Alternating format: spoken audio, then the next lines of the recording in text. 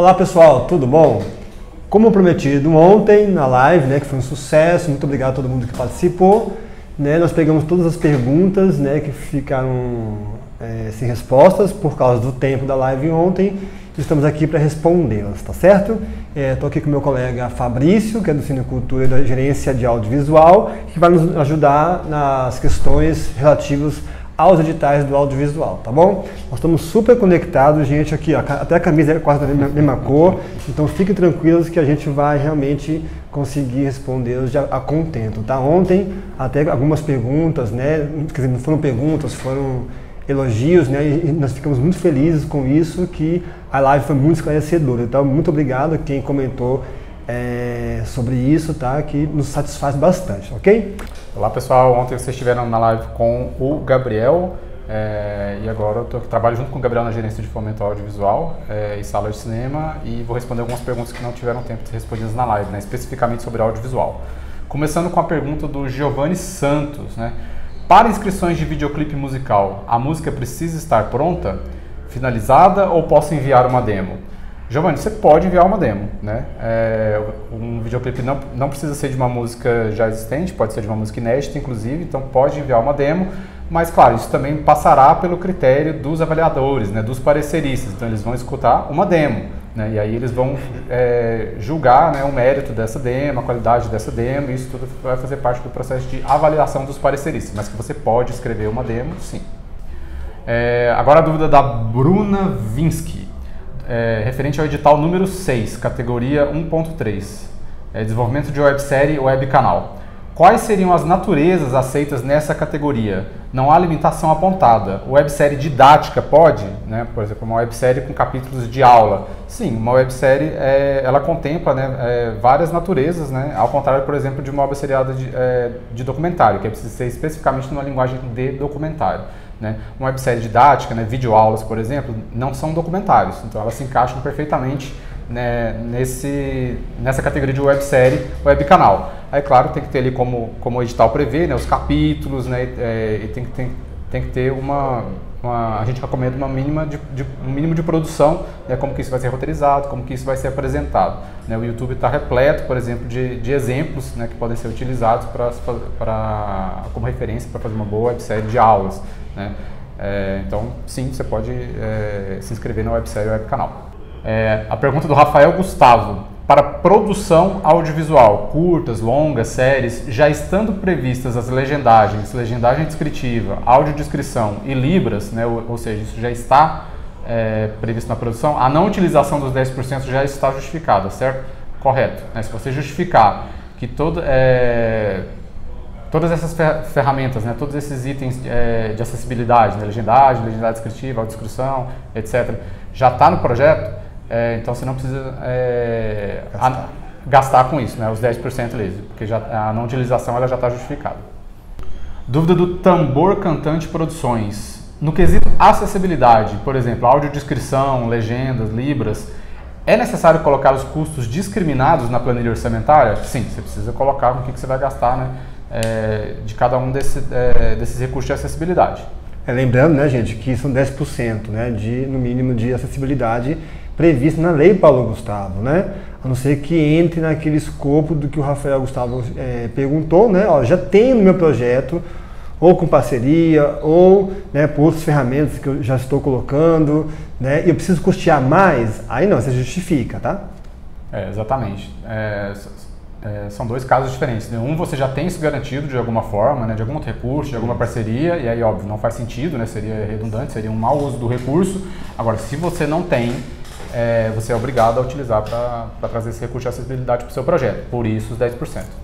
O Jornal Planetário é, questiona, né? É, por que obrigar produtores audiovisuais a inserir estudantes de cinema em seus projetos? O que acho injusto e burocrático. Não seria melhor fazer um edital exclusivo para eles? É, isso já foi retirado nas erratas, tá? Não é mais obrigatório é, inserir estudantes nos projetos, tá? Então fica, na verdade, é, a critério do, do, do, proponente. Essa obrigação, portanto, não existe, né? Isso tem a ver, inclusive, com a pergunta do Tiago Salles, né, que é muito parecida. A contratação de, de estudantes da área audiovisual pode ser contratada após a aprovação do projeto? Por exemplo, né, ele diz, colocamos isso no plano de trabalho, mas apresentamos as pessoas a serem contratadas só depois. Então, perfeitamente pode ser feito, até porque não é mais obrigado contratar estudantes. Mas quem estiver realizando o projeto, projeto pode fazer isso, pode já ser tanto antes, pode colocar ali no projeto, como decidir é, contratar depois, e aí tem que entrar na prestação de contas, né? Isso, isso. É, então, é, essa dúvida está sanada e tem a errata é, explicando, é, já retirando essa obrigatoriedade. Agora a dúvida do Rafael Gustavo, né? É, é, ele aponta que verba é fundamental para uma produção audiovisual, de fato, e aí ele diz que é impossível saber antes de contratar a direção de arte figurinista, né? Quanto será gasto com figurinos, né? É, de fato isso acontece e por isso sim você pode utilizar verba num sentido mais genérico, né? Isso, sobretudo num, num, num, num, projeto bem argumentado, né? Então sim, você pode utilizar num, sentido mais genérico sem ter ali o valor específico que de fato exige um, um pouco mais de estudo mais detalhado, né? Pessoal, vou voltar um pouquinho para demais áreas, né? Eu separei algumas para o Fabrício responder no audiovisual, e depois a gente volta com outras mescladas, tá? Então, aqui temos perguntas básicas né, que já foram respondidas na live de ontem. Então, Rodrigo Rocha, é, Rodrigo Rocha, o Anderson Martins, a Isabela Rova perguntaram sobre né, o comprovante de residência. Né? Então, ou seja, vamos lá, Isabela, sim, haverá um campo específico, pessoal, para inserir a residência, né, o seu comprovante de residência, mas somente na fase posterior da avaliação de mérito. Né? Ah, é, vamos lembrar que inverteu o procedimento. Vamos avaliar todos os projetos é uma demanda antiga de vocês, né? De avaliar primeiro o mérito, depois entregar documento. Né? Os documentos necessários agora é somente da, do projeto, tá bom? Então, Isabela, sim, vai ser entregue depois, tá bom? O Anderson Martins perguntou, né? É, que também é depois da aprovação, o, o esse comprovante. E sim, é, Rodrigo, tem que ser 2021 a 23, tá bom? Então, ou seja, são dois anos, né? Se comprovar. Então, 2021 a 22, um ano, 22 para 23, o segundo ano, ok? Também é uma pergunta relativa à documentação depois, né, da Angeli Parreira, né, com relação ao PCD, o laudo pode ser com mais de três anos para deficiências permanentes, né, se tiver, se está, tiver dentro, Angeli, da legislação, olha, dentro da legislação, compete, né, ou, ou seja, está sim é, legalmente válido né, esses três anos? Pode, tá? É claro que esses, esses laudos vão passar por um, uma avaliação também, tá bom? Até, estão dentro da legislação e a sua validade é, dentro dela, pode sim, claro. Tá? A Célia Maria perguntou, confirmando, ao escrever na arte e criação, nas questões que não se aplicam à proposta que está sendo apresentada, basta explicar que a informação solicitada não se aplica ao projeto? Então, isso, tá? Como eu falei ontem, Célia, tem que justificar, tá? Isso vai ser avaliado, entendeu? Porque às vezes o que você colocou em todo o projeto está incoerente com aquela justificativa que você falou que não precisa de uma divulgação, por exemplo, tá? Ou não está coerente com a falta da acessibilidade, por exemplo, também, ok? Então, ou seja, tudo tem que casar, a coerência. Ontem alguém perguntou sobre coerências, né, de planilha orçamentária, de metas, é, é, ficha técnica, ou seja, toda proposta tem que estar coerente. Você não pode colocar uma informação em todo o escopo que, opa, o avaliador falar, cadê aqui a divulgação? E depois você justificar que não precisa. Tem que estar coerente, tá? As informações, beleza? Vamos lá. Né? E a partir dessa pergunta da série, tá, gente? É, tem algumas explicações nós demos ontem, né? Então a live né, de ontem tá no link, né? Aqui, aqui em cima, tá bom? É, no YouTube da Secult, tá? Então, por favor, vejam, assistam né, a live inteira. É claro, né, como as videoaulas também estão todas fracionadas, divulguem bastante as videoaulas e essa live também, tá certo? Vai todo mundo ser ajudado no sentido de informação, ok? Carne doce. Olá, para projeto de espetáculo para Circula Mundo Afora, que não gera produto visual. Como prever ações para aplicação de recursos de acessibilidade? Eu também comentei ontem, né, é, Carne? Doce, né? Assim, é, o Brasil exige que é, é, exista acessibilidade em propostas culturais e outras propostas também de outras áreas, tá? Alguém perguntou ontem sobre, olha, se eu for para o Chile, for para a Argentina, e se naquele país exigir também alguma acessibilidade, eu posso trazer isso para o projeto? Pode, tá? Então fica atento, né, se o país que você for é, circular exige, né, de parte cultural também uma acessibilidade, tá bom? Vamos lembrar que o público, gente, o público, a acessibilidade não é um, um favor nosso do Estado, né? Ou da legislação, de, nenhum de nós. Né? É uma possibilidade do público PCD com deficiência assistir a, a propostas culturais, né? Ou seja, historicamente eles foram alijados do processo, ou seja, as legislações estão chegando para dar um suporte a todo mundo, né? Informação e suporte e ferramentas né, e recursos também para poder ampliar esse escopo de possibilidades que ao passar do tempo vai se acostumando. Quem lembra do FAV 2015-16 que inseriu a acessibilidade, né, foi um Deus nos acuda, ninguém entendia de nada, nem nós também. Hoje está muito mais tranquilo né, entender acessibilidade para propostas culturais. Então é esse o processo, tá bom? Mas entenda também que naquele país que você for visitar, né, com a sua, com sua obra cultural, com o seu espetáculo, né, ou seu show, uh, existem também pessoas com deficiência que querem assistir, né? Tá certo? É um intérprete de Libras, por exemplo, para apresentar o show, né? Isso, isso. A ser contratado. Isso, exato, né? Ontem alguém perguntou sobre o Chile, né? Eu já assisti uma, uma, uma espetáculo de música, de rock no Chile, que tinha intérprete de Libras, ah. né? Vamos lá, pessoal. Aliene, no plano anual, o proponente é polivalente. Posso colocar na planilha valor para autopagamento? Exemplo, audiodescrição, edições, design, alimento, internet, etc. Onde devo justificar? Eu entendi aqui, Aline, que o proponente ele fará o, o serviço de audiodescrição, fará o, o serviço de edição, design, de internet e alguns outros serviços. O edital não proíbe isso, mas também o edital está falando que vai ser avaliado o currículo da pessoa nessa função né? Pode fazer, mas se a pessoa e o proponente não tem experiência, por exemplo, em audiodescrição, que é uma formação específica para isso, né, certamente isso vai ser, será avaliado, ok? Pode, mas certamente será avaliado o currículo da pessoa pertinente à função que ela está exercendo. A dúvida da Angeli Parreira. No caso, temos um parceiro que cria todas as trilhas sonoras autorais para animação. Neste caso, pagamos pela produção sonora de cada projeto. Isso pode ser feito sem problemas? É, você pode pagar e se você tem esse parceiro que realiza as trilhas, né, você tem que combinar o valor com ele, né, é, para cada projeto, como você mesmo escreve, e isso tem que estar discriminado na, na planilha, certo? É, mas sim, o pagamento pode ser feito, evidentemente, porque vai ser uma pessoa que vai trabalhar no projeto. E previsto na ficha técnica, né, na, na, na, e na planilha orçamentária. Perfeito.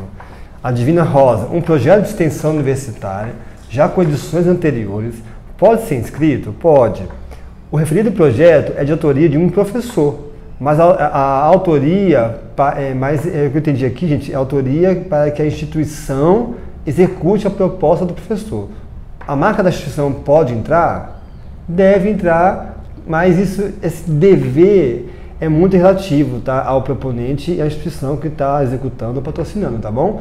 O, a, as logotipos obrigatórias é a do Estado de Goiás, né, a Lei Paulo Gustavo, da, do MINC e do Brasil, né, do, do, do, governo federal, ok? Essas são obrigatórias. Agora, outra logotipo de um parceiro, de uma pessoa que vai executar, né, de um patrocinador que está colocando outros recursos no projeto, né, aí fica a cargo do proponente e do parceiro, ok?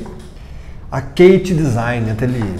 No edital de ações formativas, é possível incluir na planilha a aquisição de aparelho de celular com câmera boa, e outro tipo de equipamento para gravação de videoaulas no caso de propor curso online?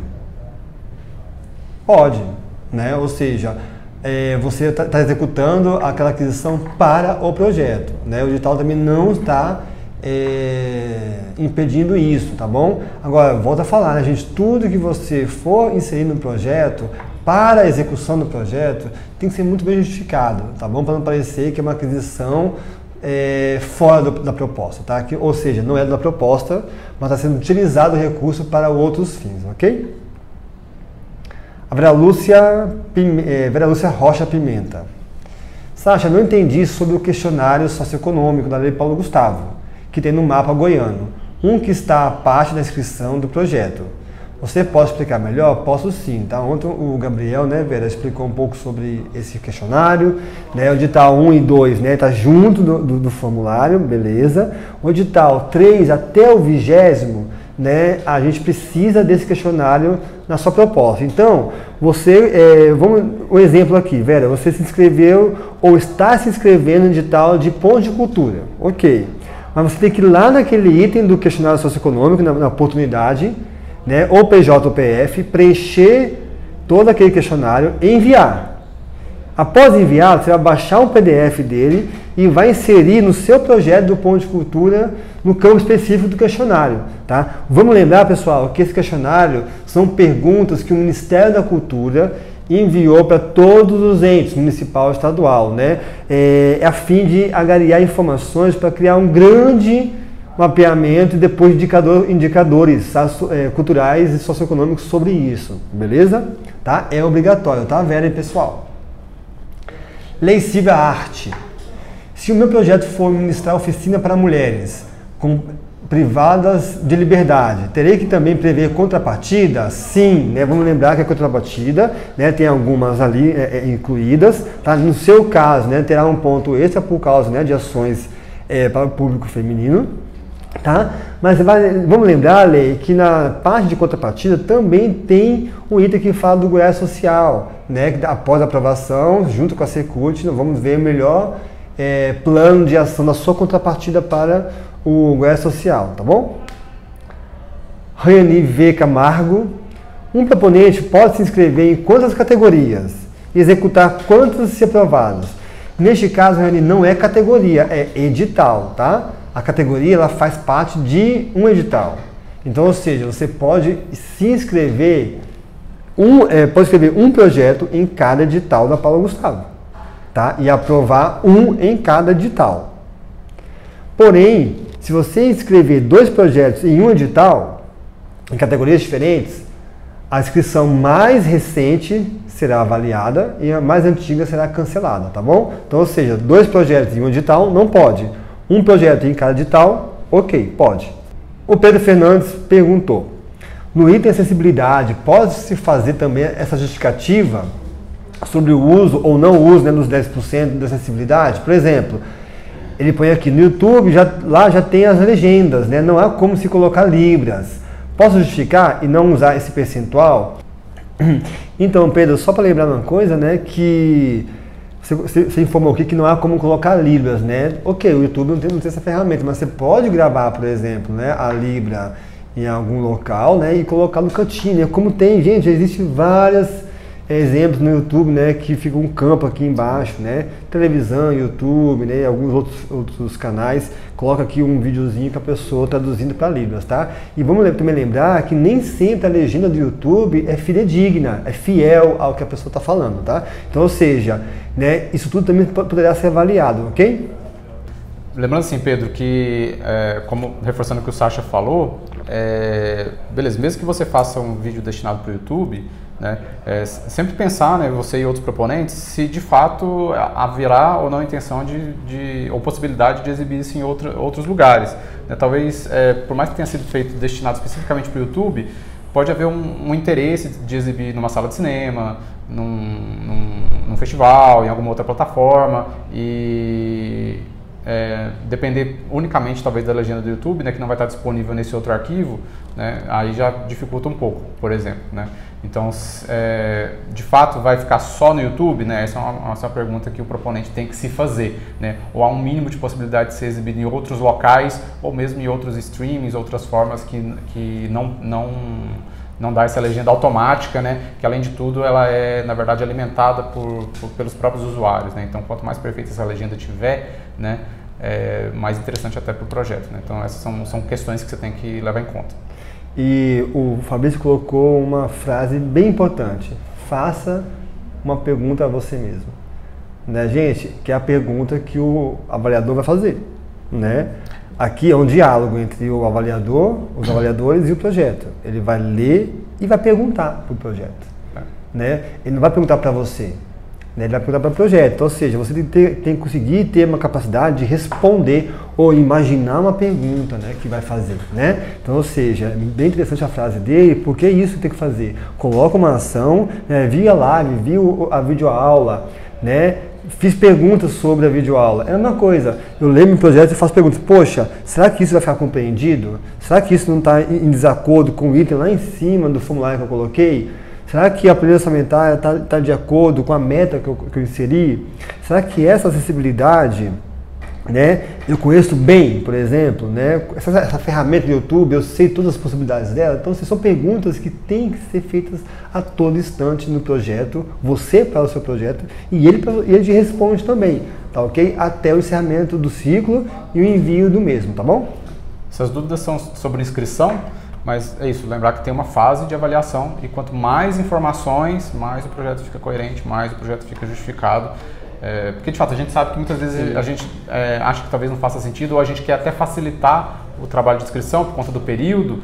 É, mas então, é, na verdade, quanto mais você colocar, é mais interessante vai ficar o trabalho, porque tem uma segunda fase né, de avaliação. Exato, exato.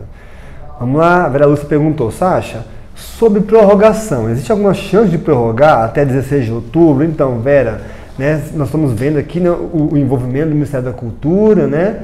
Que se envolveu agora, né, a semana passada, nesse processo de prorrogação do, da Paulo Gustavo, né, a todos os períodos no edital, vocês, estão vendo, pessoal, que estão enxutos, tá? Como, como eu falei ontem, o maior período de, no edital da Paulo Gustavo é a inscrição, 20 dias. Os, de, os demais períodos são todos enxutos, como os outros estados do Brasil também. Né? A priori, todos os estados e municípios terão que pagar os proponentes aprovados até o final do ano né?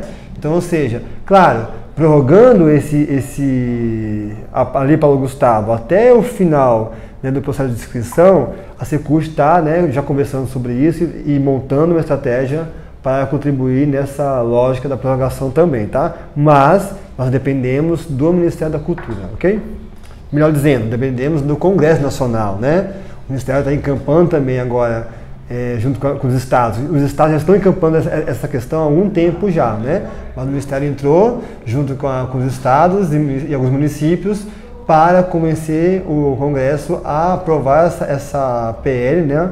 Para prorrogar o, a execução da Paulo Gustavo, ok? Flávio Sacioto, a casa de aceite dos artistas enchi, eh, enchidos, preenchidos Preenchido. no projetos, deveria vir com um valor de cachê a ser recebido? Nos daria transparência certeza da proteção aos artistas. O que vocês acham? Então, Flávio, isso aí, né, a, volta a falar, né, a carta de aceite não é obrigatória, você pode colocar para deixar, como avisei ontem, né, a proposta bem condensada e substancial. Agora, colocar valor do cachê ou não, aí depende muito da relação entre você e o convidado, né? Então, ou seja, dá proteção sim a ambas as partes, ao proponente, ao artista, né? Mas também tem que ver se, caso necessite de alguma alteração de valor para mais ou para menos, por exemplo, como será essa relação entre vocês, tá ok? Então, tudo que você insere hoje no, na proposta, você tem que tentar prever o que pode acontecer no futuro próximo, tá? Amor Juninho, Júnior Boa. Boa tarde. Amor Júnior. Boa tarde. É.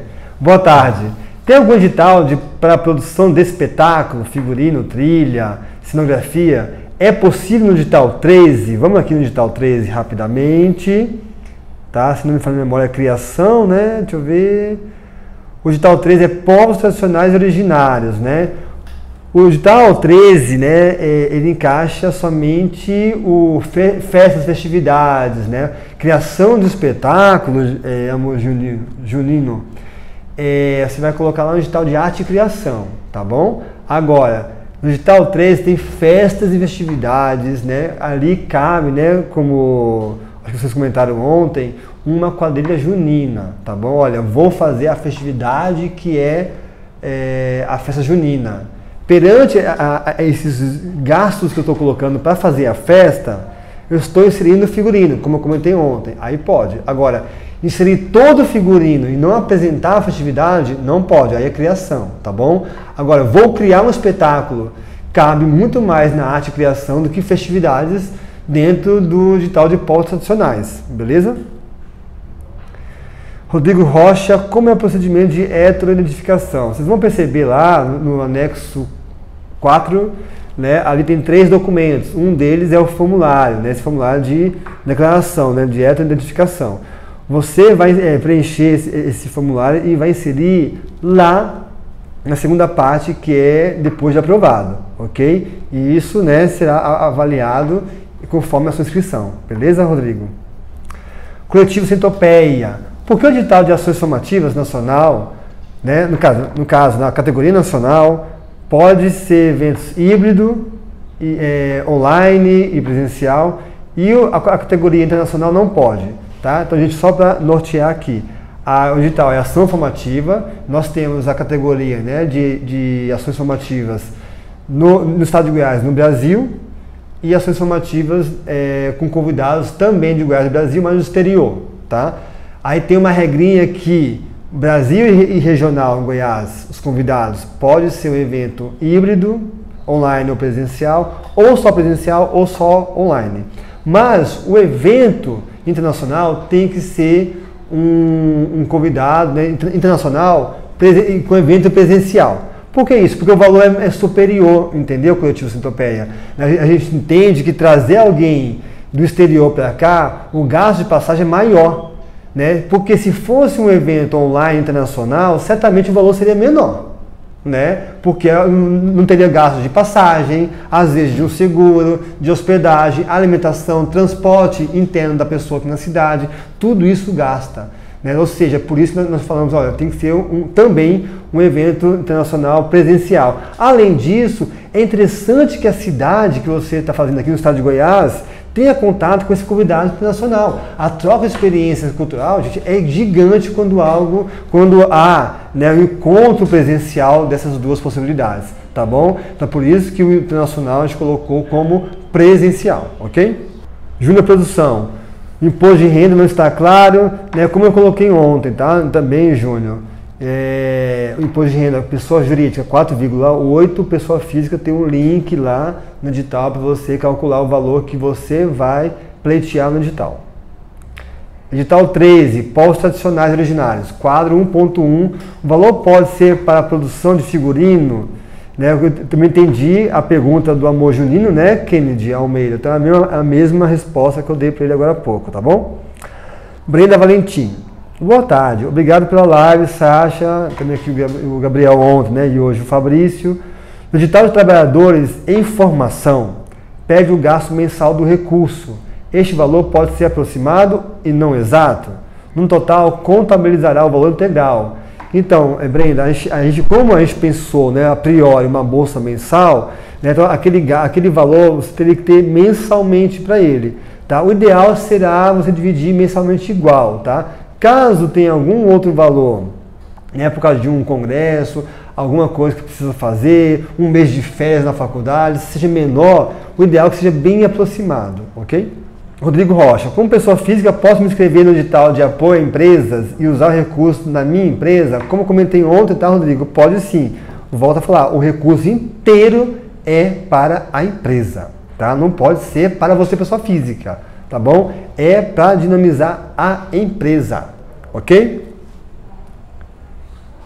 Né? Nesse caso, você vai só utilizar o seu CPF para é, dinamizar a empresa porque ela não tem dois anos, ok? Mas aí né, é, é um artifício que está sendo utilizado nos editais, certo? Kate Design, no edital Cultura Criativa, ainda não consegui entender que tipo de projeto será aceito. Sou artesã e queria uma explicação mais específica com o tipo de projetos que se esperam possível. Aqui no edital, vocês vão ver, quer ver, no, no anexo 1, está colocado algumas possibilidades.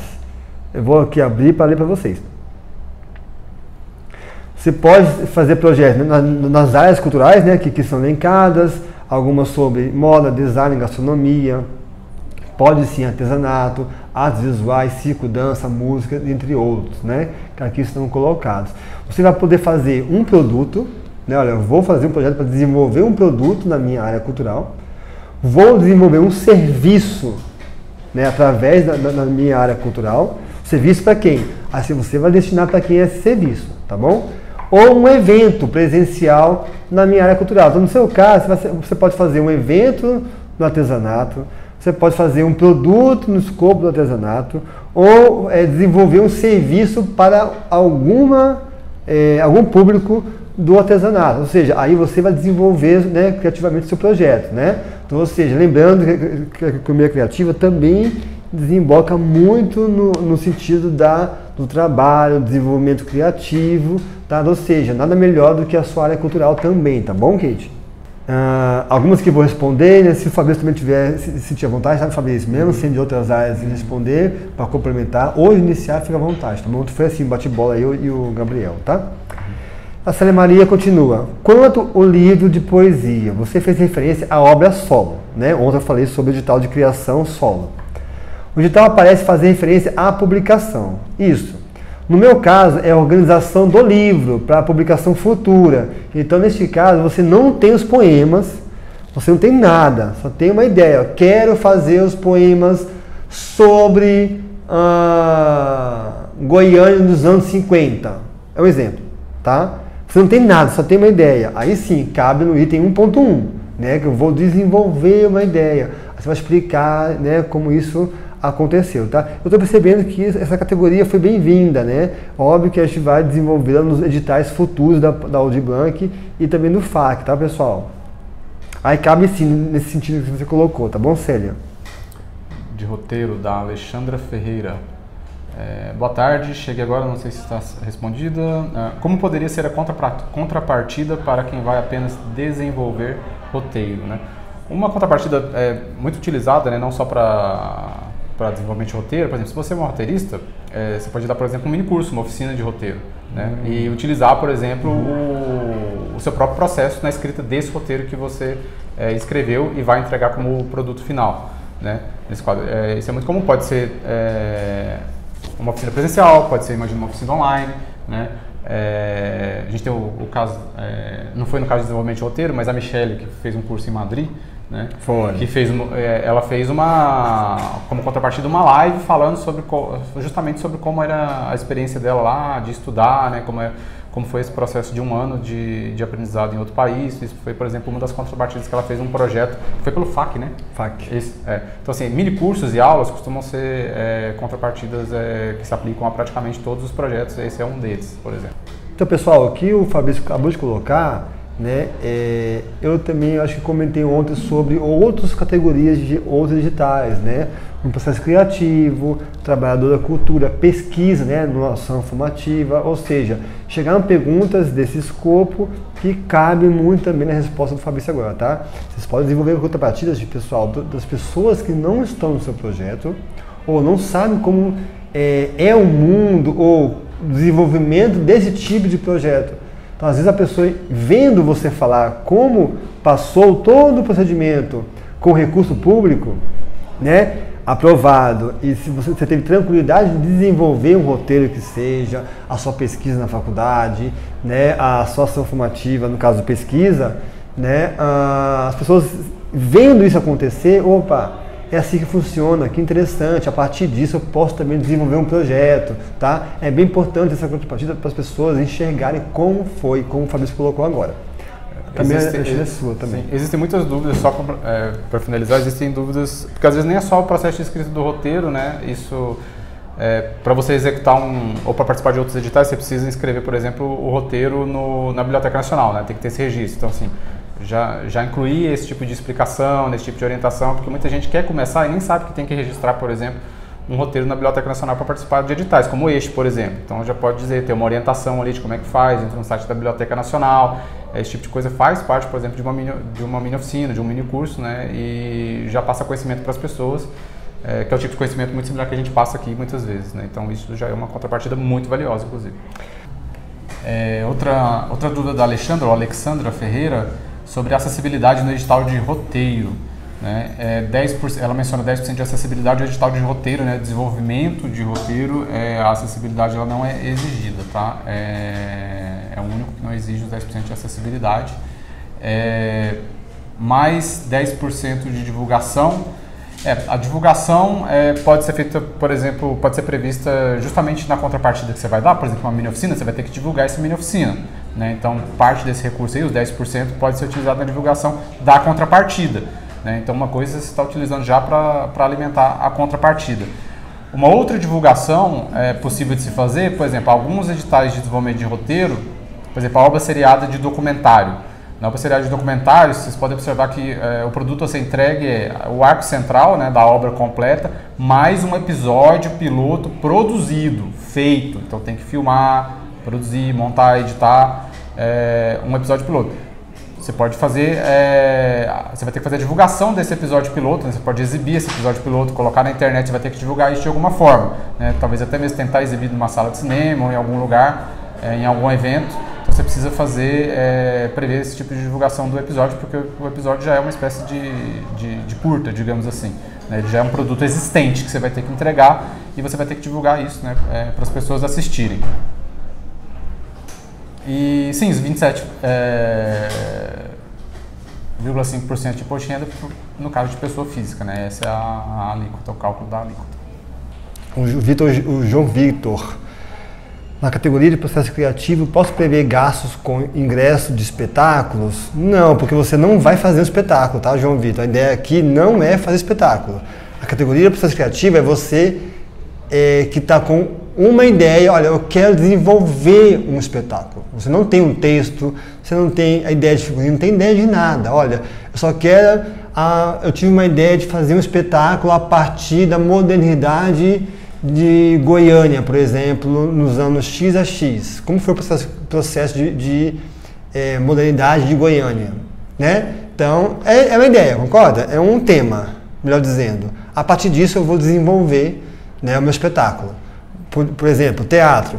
Aí que eu vou desenvolver a ideia de figurino, a trilha sonora, o texto, todo o, o, o, o, escopo de um espetáculo de teatro, assim também com a dança, assim com o circo, assim com a música, por aí vai, tá?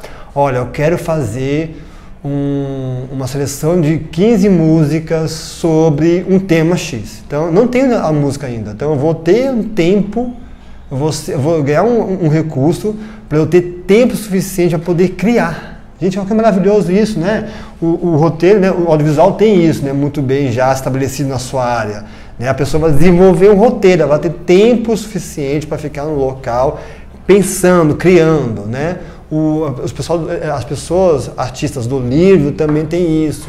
Então nós trouxemos para cá agora essa ideia para as demais áreas, tá bom? Então não é você criar um espetáculo e montar e depois executar, tá bom? Se você já tem uma ideia pronta, o texto pronto, tudo pronto, né, e quer montar o espetáculo, é na categoria de montagem, ou solo ou com grupos, ok? Lucas Wagner. Afinal de contas, preciso enviar mini currículo da equipe na ficha técnica ou o currículo completo com comprovação de todas. Então, Lucas, né, você vai perceber que tem categorias que precisam do mini currículo né, da equipe, geralmente é no audiovisual, tá? É, agora, é, quase todos os editais você vai precisar mandar o currículo e comprovação do proponente e o currículo do, da equipe ali que você colocou tá bom? Ou seja, mas olha direitinho o anexo 1, tá? Que a maioria coloca lá, mini currículo da equipe com comprovação, tá é. bom? E verifique se no anexo 1 tem errata. Né? É, aí você vai na errata mais atual, alguns tem já a segunda errata, por exemplo, você vai não. Ótimo, bem lembrado. Luiz Alberto, boa tarde. Ainda sobre IR, tem isenção fiscal para sermos sem fins lucrativos? A priori não, tá? Tem que recolher todo mundo, tá bom? Até, como eu falei ontem, a não ser que mude alguma coisa, a priori todo mundo tem que recolher, ok? Dúvida da Lucinete Moraes. Para o edital de desenvolvimento de longa, é mesmo 20 mil? É desenvolvimento de roteiro, no caso, né? Quando a gente fala de desenvolvimento é de roteiro, né? É mesmo 20 mil? Porque só o valor do roteiro, de acordo com o Sindicine, são 40 mil. É, sim, é 20 mil, é, basicamente por dois motivos. É um edital é, emergencial, né? então com 20 mil a gente pode, é, o edital ele, ele vai contemplar mais pessoas, né?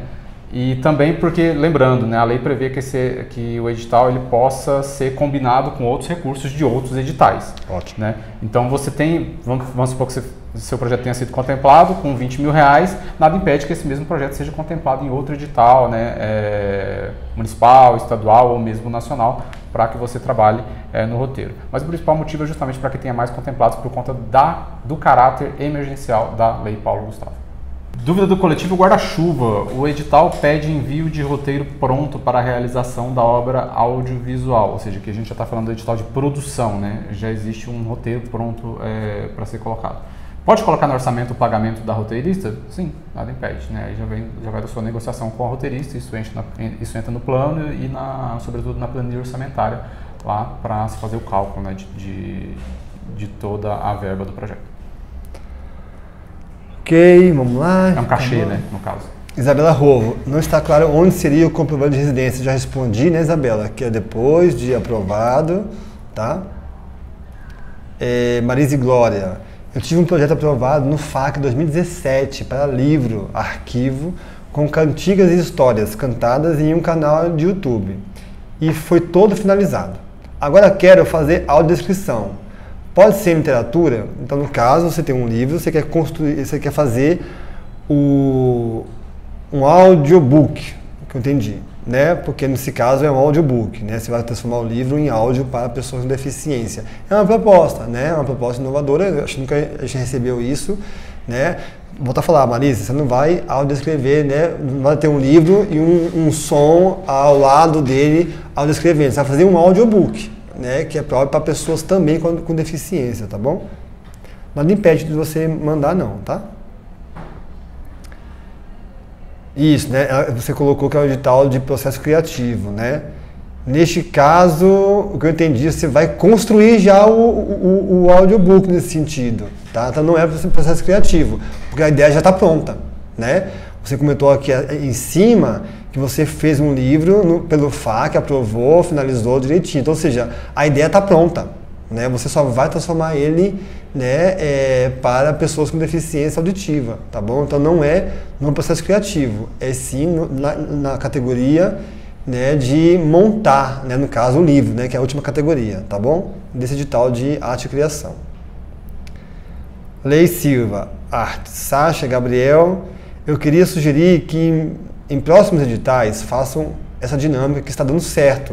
Faça um vídeo descrevendo os digitais e depois uma live para diminuir, dirimir as últimas dúvidas. Parabéns.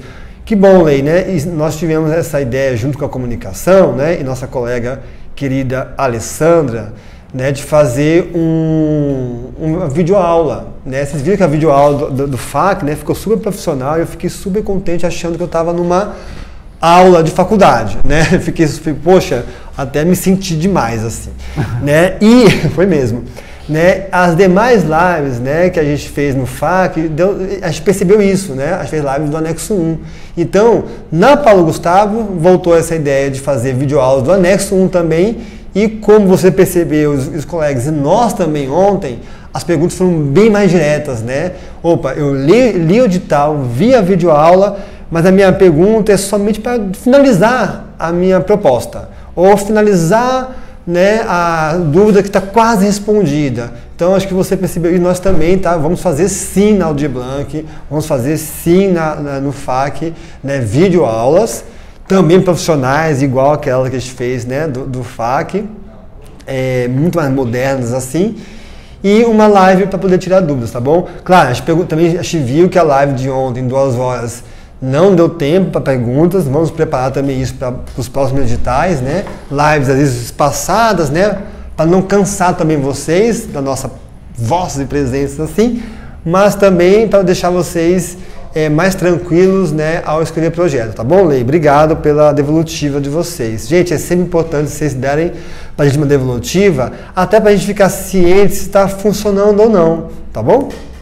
Ou que precisa melhorar, ou que precisa né, condensar, tá bom?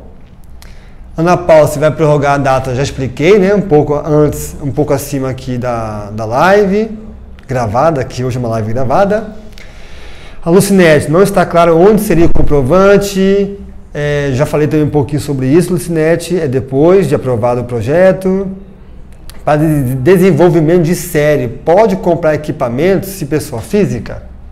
A Vera Lúcia pergunta, como vai fazer um vídeo? Sasha, você vai fazer um vídeo explicando as dúvidas que não foram hoje, ontem, no caso, né, hoje respondidas? É essa, é, esse vídeo aqui, tá bom, Vera Lúcia? Aqui ela perguntou assim, ó, esclarece melhor sobre a contrapartida, tem que ter uma ação, pelo menos uma unidade de assistência, assistência social?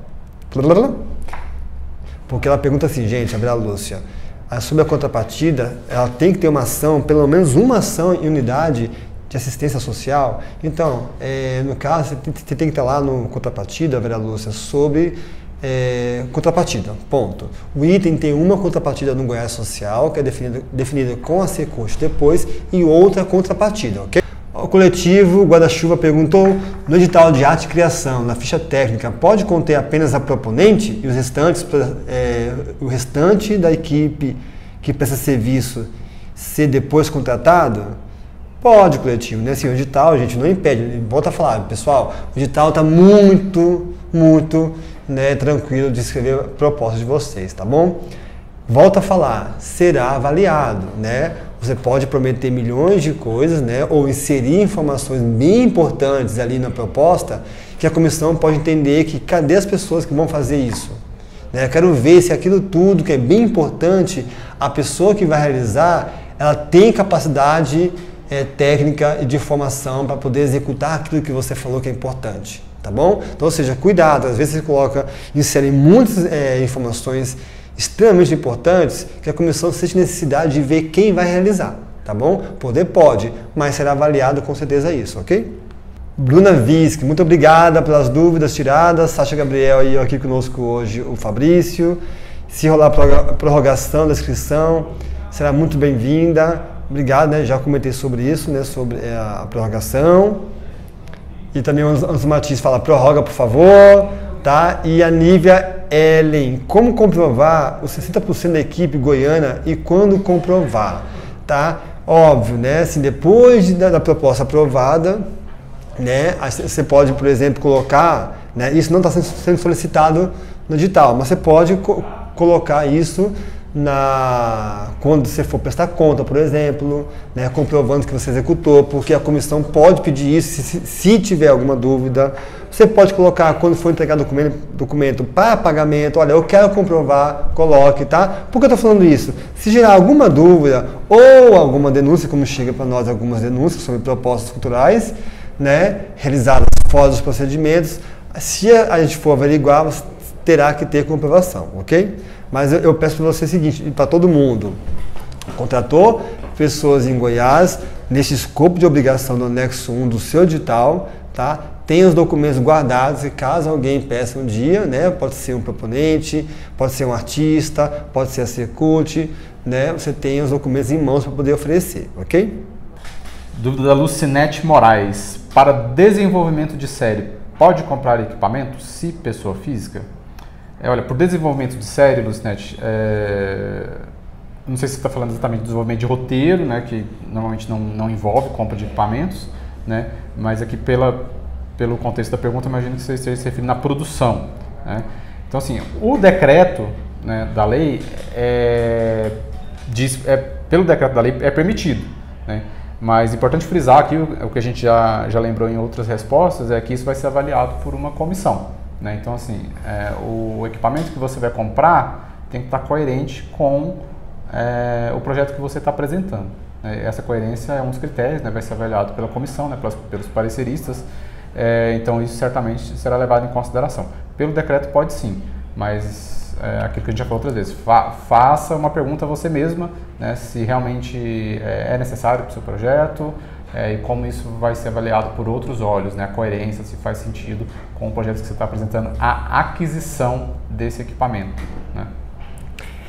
Então é isso, pessoal. Né? Conseguimos responder todas as perguntas que ficavam faltando ontem. Né? Nosso compromisso, tanto da nossa secretariária, nossa chefe de fomento de gestão, Raíssa, a chefe de comunicação, é, Thaís Lobo, meu compromisso do Gabriel ontem e do Fabrício hoje e da Alessandra, a equipe de comunicação, ou seja, todo mundo está envolvido. Né? O nosso compromisso foi o quê?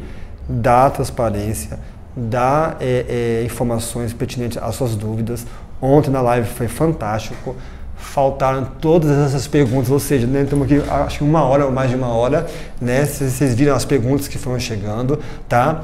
Então todas foram respondidas, tá, gente? Nosso compromisso foi esse, mas não vamos deixar de, de lembrar que nós temos né, o e-mail né, da, da Paulo Gustavo, né, que está aqui no descritivo de vocês, na live de ontem também nós colocamos embaixo, né, no descritivo, o e-mail, tá bom? Ou seja, manda e-mail para nós e uma informação e uma dica muito importante. Não deixe para o último momento de enviar a proposta, tá? Historicamente, as pessoas mandam no último dia. Mais de 50% das pessoas mandam no último dia, tá? E por volta de 10 a 15% manda nas últimas 3, 4 horas a proposta.